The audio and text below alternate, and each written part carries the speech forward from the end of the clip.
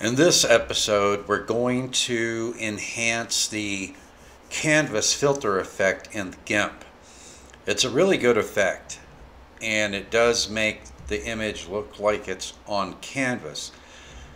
But a real canvas painting will have a texture to it, not just the canvas texture, but because you you're you're using paint to create the texture. You're adding layer upon layer of paint to create your image and the paint itself will add a texture to the canvas. Not just that waffle pattern that you get from the canvas, but the paint itself will add a texture.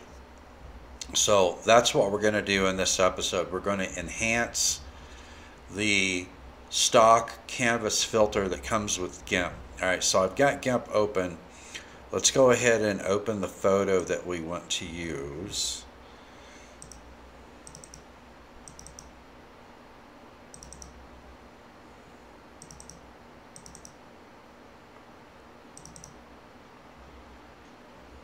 Okay, so here's the photo we're going to use. And I want to open up two copies of it so that you guys will be able to see, you know, before and after uh, on this image. Okay, so on the second one we got open, the first thing that we're going to do before we apply our canvas effect is we're going to duplicate this image.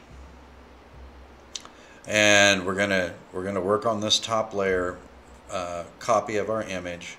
And we're going to rename this we're going to name it bump map. We're going to use a bump map to enhance the the texture of the image before we apply the canvas filter. Alright, so now that we have that done, I want to go in, we want to go into colors, and we want to desaturate this image so that it's a grayscale version of it. Alright, and then we need to take our bump map image, which is now a grayscale version, and we need to lower it because we're going to be working on the top image and we're going to hide it as well. We don't we don't need to see it anymore. All right, so I've got my color version of the image on my top layer now. I've got my bump map on the bottom and I've got it hidden. So now I'm going to right click, I'm going to go into filters and I'm going to go into map and I'm going to select bump map at the top. Now right here, you know, you've got your presets and then you've got your aux input and this is this is the section that we want to use. We want to go into our um, image right here. I've got highlighted right here on top and you see it shows our color layer and it shows our bump map layer. So I'm going to double click my bump map layer. And that's what we're that is the the grayscale image is what we're going to use to create our bump map. Okay so we've got it on preview. We've got compensate selected because bump map will actually dark darken the image. And so when you have that selected compensate selected, it will it will increase the lighting on the image to to overcome that darkening that the bump map creates. Now the type of bump map that I found looks the best is sinusoidal, this bottom uh, version right here. Now the depth, I'm going to set the depth for 4 and I'm not going to use any offset and your water level, what this is, the water levels for like if you if you're creating a bump map, but the bump map image has a transparency section in it, it treats that transparency as though it was black in the image rather than transparent. So you can adjust how that works, but we don't have any transparent portions of this image and the ambient lighting factor is another way to compensate for the darkening of the image. If you see if I raise it, pull it all the way up, it increases the lighting. If I leave it all the way down, then um, it doesn't compensate. But I already have compensation selected, so I like the way that looks without any ambient lighting factor in it. What I would concern myself with is the elevation, which is the lighter parts of the image, how high they were going to look and the depth is how far back that the dark parts of the image are going to look. So if we if we increase our depth and you you see how much further back it pushes the darker parts of the image, you know the shadows, the the darker parts of the texture. So I find that somewhere between four and six usually works out very well for my purposes. All right, I think that looks good. At five, let's try six. Six kind of six kind of starts to starts to distorting the image a little bit too much. So I would select five or four. I think I'm going to go with five. And then your elevation. You know, this is how much, how high the, the light areas are going to be. You can see the elevation when I bring it all the way down. I mean, the elevate the elevation is, it's almost, it's like it's pushed backwards.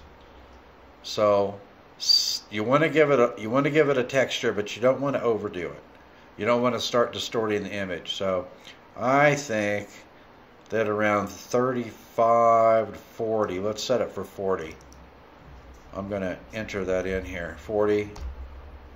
I'm going to set set that at 40, maybe a little bit lower. Let's let's see if we can set it at um, 30. No, that's too much. Let's go with 50. That's better. Okay, so we've got it set at 50.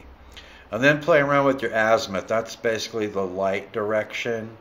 And that can also distort your image. You know, too much, too much shadow, too too much of the bump on the bump map. So get it set to where you like it just by adjusting the direction in which the light is coming from. And I think I like that right there. It's I've got a lot of texture to the image, but it's not distorting it. That, and that's the key. Get it get it to the point to where it adds texture to the image, but it's not distorting the image. So if I uncheck my preview here, okay, so now you can see the difference, right? This is without the bump map applied, and then I select preview, and now you can see how much texture it's adding to the image, especially the vegetation, the face, Okay, so let's move our azimuth a little bit more. Let's try to smooth that out a little bit more. Maybe cut our depth down to 4. Now let's do a preview of that. Still not happy with the azimuth here. Let's see. Or, or the elevation, excuse me. Let's put our elevation back to 50. And let's mess with the azimuth again a little bit. I was moving the wrong slider.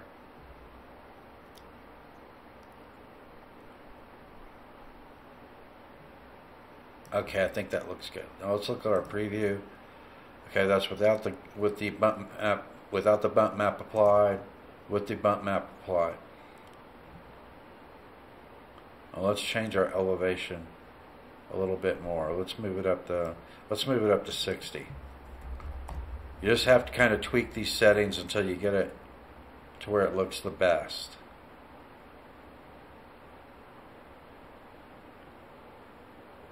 I think I like that. All right, see. Yeah, so that's added quite a bit of texture to the image. It's increased the shadows in the image. But it's not distorting it too much. You know what I mean? Okay, so let's go ahead and select OK. Now that we have our texture applied to, you know, our virtual canvas here, so that the paint, when the paint is applied, it adds a texture to the substrate. You know what I'm saying? Okay, so now let's go in to, to filters and go into artistic and apply canvas. And then if I uncheck the preview, you see the difference.